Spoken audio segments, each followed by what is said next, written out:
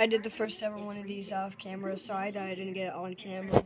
So, just I I did this. Guys, please comment down how amazing this shot is, because I got it off camera. But anyways, it's still insane, even though I got it off camera. Anyways, bye.